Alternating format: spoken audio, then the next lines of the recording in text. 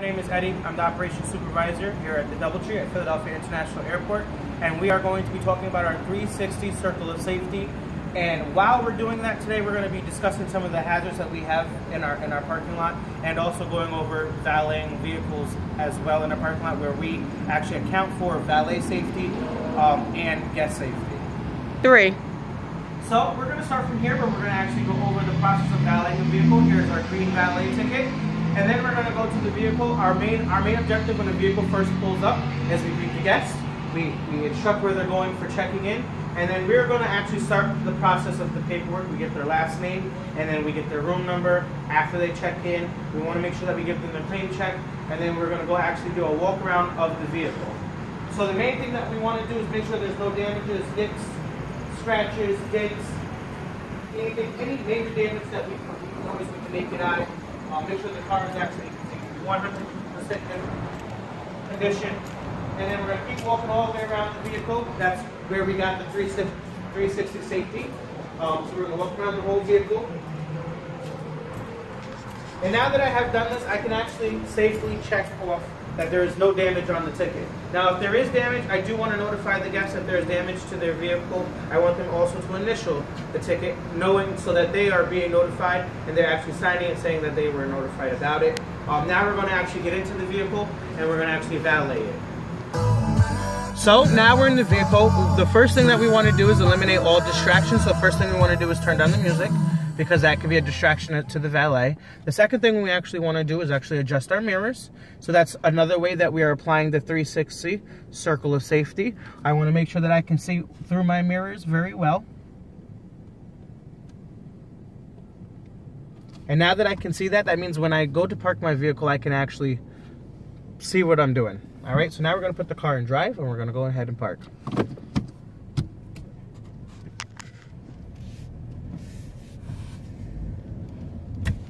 So we want to make sure that while we're driving, we don't want to go too fast. We don't want to go anything over five miles per hour through our parking lot. It's not that much of a big parking lot as it is. So we're going to be pulling into our space right now. And protocol is, is that we back every vehicle up into the into the valet slots. So we want to make sure that when we pull up, we want to make sure that we're perfectly aware of our surroundings. We want to make sure, as our driveway is, it's only one direction. So we want to make sure there's no vehicles behind us. So we want to make sure we check all our mirrors and our blind spots. And then we're going to go ahead and start backing up. I just want to check my mirrors, make sure there's no one around me. And then I go slowly. I'm watching the curb behind me. I can also use the camera right here on the dash to make sure that I'm being completely safe and I'm watching my surroundings.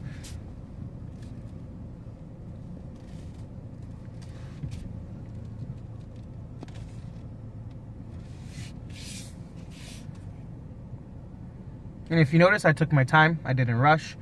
I went very slow. That's the only way that I can actually make sure that the vehicle is safe. Another thing that we want to make sure that we do is that we make sure we straighten the wheel out, make sure that the tires are 100% straight, so that way the next person who will be a different valet on a different shift in the morning, when they unvalet the car, the tires are straight, and when they pull out, they don't have to worry about going in any direction but straight, and they have full control of the vehicle. So now the car is back in park. We want to make sure that we turn all the lights off, so that way the car is safe and the battery doesn't die. Now, most vehicles, newer vehicles and rental rental vehicles, which is more of the vehicles we get here at this specific property, have auto lights, but we just want to make sure that it's on auto when we turn the car off. So right now we're going to go over some of our hazards that we have that we face in our property. Um, if you notice to my left here, one of our one of our hazards is that this is a blind spot for guests. Guests will walk right out of this door come right into the flow of traffic. Um, so we try to be mindful of that and we try to keep an eye on guests to make sure that they aren't actually just walking right into traffic. Uh, another thing that we have is that our driveway, if you notice, if you look down our driveway, we have our 9.9 foot, 6 inch clearance at the top. Um, that actually eliminates large vehicles being able to come in. And on top of that good evening, sir. How are you? Are you checking in with? Check us to the end to the right, okay? So that's part of the process of while we while we are valets as well here. We want to make sure that we greet every guest, make sure that they're happy while they're checking in. Um, so now that now we're back to the to the driveway, we want to point out that our driveway is one flow of traffic on this side and outside of our clearance as well. Um, so while we're valeting, we have to be mindful of other people in our driveway. We have to be mindful of the shuttle buses, as you can see, one's parked up front right now. Um, so when we're, when we're pulling off, we want to be some, most of the time we do beep um, to notify when it's busy. Um, during high traffic times of the day, during check-in and check-out, we beep to notify guests that we are moving the vehicle. Um, right now it's pretty dead. As you can see, there's nobody in the driveway right now. Um, so the next the next thing about our, our, our, hazards of our driveway is when after we pull out of the safety circle of the uh, clearance, we also have two other lanes of traffic on the right hand side that we also have to consider as well. So when we're pulling out, we just want to slow down, pulling through. We want to make sure we check our mirrors while we're coming around this area. And then, so that way that the people that are coming through this way, because they're going, instead of checking in, they're going right to our gates to actually park. So we want to make sure that the traffic that's coming through, that we're actually watching them and being courteous to them as well. Three. Another one of our hazards that we have here at the Doubletree is while we're unvaleting a vehicle, as I stated before, all this is one flow of traffic. So while we're pulling the vehicle out, we do want to consider the vehicles that are going to be taking this turn right here, um, coming around the parking lot. And we want to make sure, again, that we're being safe as possible while doing this. Um, we don't want to cause any accidents or injuries. Um, if you also notice, some of our parking lot also has poles. Some of them are actually closer to the vehicle when we park. Um, so we want to be mindful that we, we keep these in mind while we're backing up as well. Um, and if you notice all our cars in the same line, facing the same direction, um, again, it's all making sure that when we unvalet a car is as simple as possible. We're all following the same rules and regulations about that and making it as easy as possible as well as making it as safe as possible. So we also want to stress, although this may not be 100% safety, but we do want to stress the protocol of the aspect of key control. Um, so um, we just want to show how our keys are actually held. Um, we want to make sure that after we park the car, that we lock every vehicle up.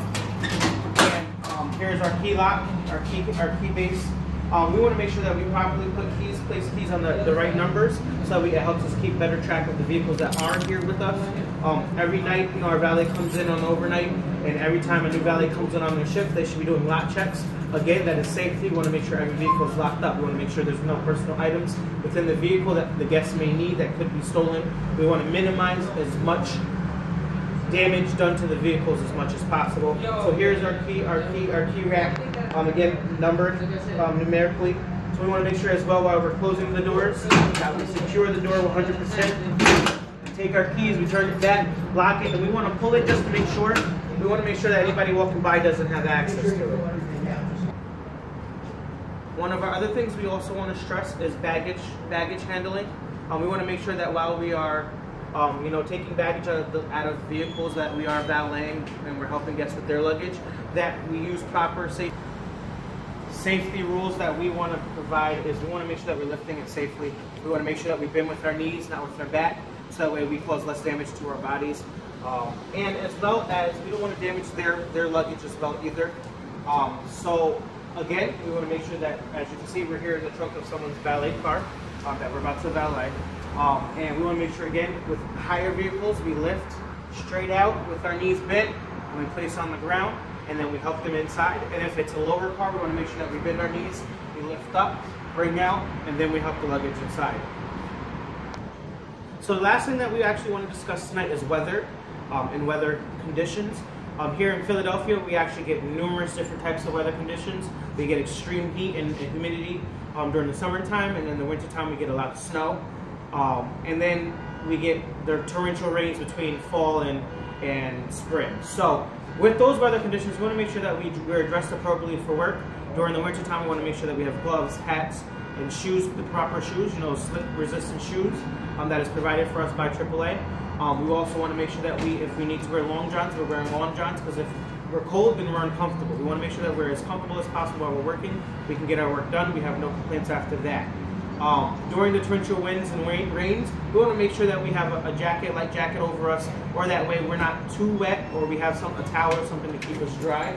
Um, also during heat, we want to make sure that we drink a lot of water. We want to make sure that we stay hydrated um, and make sure that we wear our short sleeve shirts, not too much under it, so that way it causes more heat for us or we're, we're sweating more. Because um, we are, we do remain pretty active walking through the parking lot. During the snow, we want to make sure while driving the vehicles that we take extra care and driving through through the parking lot and parking because with ice and snow and wet temperatures and wet uh, moisture on the ground, the vehicle is more susceptible to actually slip and slide. So we want to make sure that we take into account of our area then as well. We also, during in our driveway, when there's snow on the ground, we want to make sure that the guests aren't slipping and falling. We want to make sure that our, our, our driveway is actually kept um, shoveled and clear. Um, thank you. This is our 360 safety circle. Um, and we appreciate you guys stopping by and, and letting us video this for you. Thank you.